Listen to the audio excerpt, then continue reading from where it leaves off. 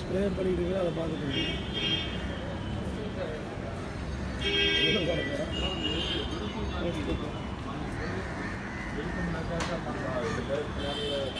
போ.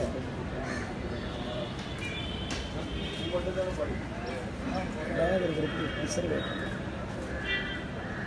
ஓடி என்ன பண்ணுறான்